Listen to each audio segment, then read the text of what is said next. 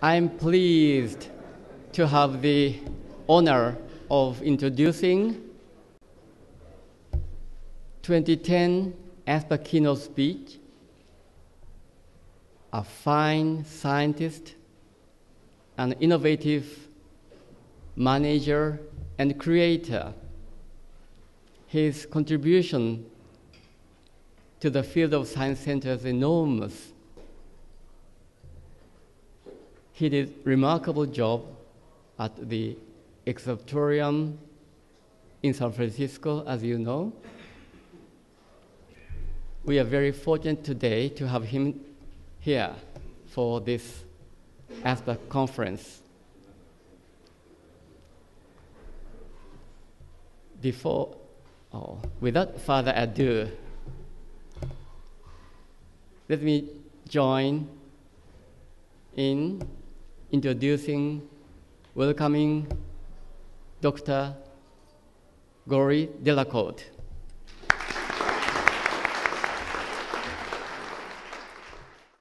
Good morning, everyone. Uh, we had a very good opening session, and uh, I sensed there was some uh, jealousy between uh, Shim and Margaret, because what Shim didn't tell you that he has a 1500 cubic centimeter motorbike. And when I asked him about speed, he said, you know, I've never been able to go at the speed limit. I'm always above. that was a great introduction, and I'm very pleased uh, to be here. And I'm a special envoy of Claire because Claire put me on a mission. She said, I want you to say things. And uh, therefore, she need to get the credit if I ever say something interesting. I'm ready to take the blame if it is not. Uh, January 91, January 91, already a long time ago, I came directly and on a wing of an eagle, if I may say, from France to take the leadership of the Exploratorium in San Francisco. Uh, Exploratorium, by the way, it, the first contradiction I saw there was that Exploratorium was hosted in a very strange place. Uh, it was a sort of ruin. Uh, Bernard Maybeck uh, had built that building uh, in 1915, and according to a French architect, Mr. Perret, architecture is what makes beautiful ruin. And in that case, it was true it had become a ruin. It had become a ruin. So, but learning is what prevents the mind to be ruined. So I was going into a place to try to promote learning in an environment which was designed to become a ruin.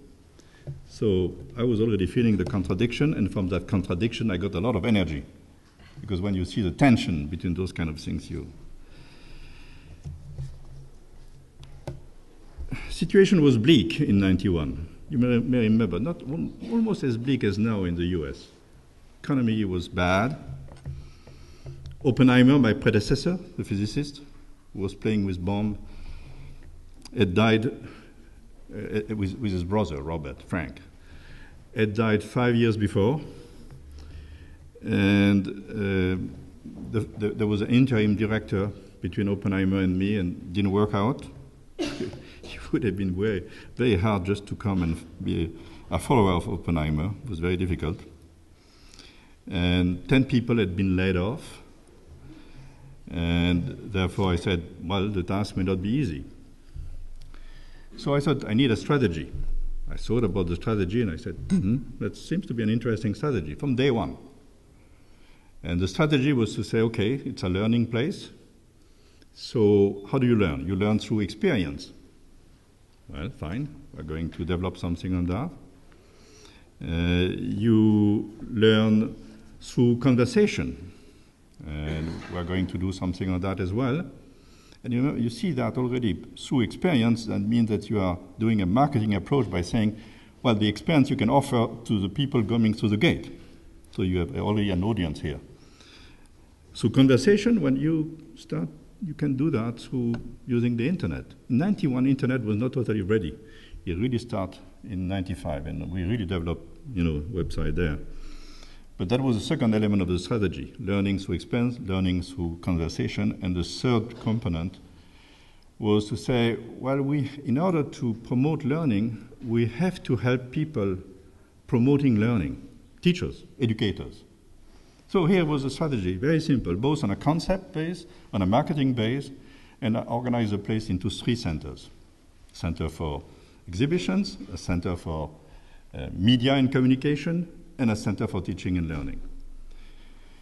So I thought, oh, it's good. I'm happy to work that way. It's only a few, after a few years that I added a fourth dimension, which I believe is important when you are in a place which is doing research and development, which I was the past of the Explorer Exploratorium, and I wanted to take that on. You have to find a way of sharing. That's one of the title of this uh, seminar: share, learn, grow together. Uh, sharing the resources and what we were able to develop with other people co-develop, bring people from the outside and do that together. And what we have developed, we bring that with hopefully good business model, which is not too expensive and bringing the people together. So that was three plus one. Fine. But the exploratorium was a mystery to me, still, especially in the early years. Of course, after that, it became a miracle. It was a mystery. It, it took me a long time, a long time, uh, to discover that the exploratorium was much more than the sum of its parts, then much more than the addition of the individual talents, much more than frugal, frugal, very, very frugal, and fiscally responsible. Of course, you have to be like that organization, trying to empower, educate, entertain. It was much more than that. So I would say it took me two years to start to understand. And I discovered then, I saw that what I was doing was not managing such an institution or an institution. I was managing a culture. So, in management lessons, it's very rare that one tell you you are going to manage a culture. So, what sort of culture was it? Well, I had to find a name for that, and I called that culture a culture of learning, because it's about learning. It's about empowering, educating, entertaining, but the core of what we do is about learning. And what I understood is that what the ta- staff does is to share that culture with the public, to bring the public into the culture and benefit from the input of the public into culture. Museums are co created. The culture comes from this co creation. And my role as a leader was to help the staff to share that culture, and therefore myself to share with the staff and my executive team in the same way. So it was a global process of what one could call acculturation. It was a cultural endeavor.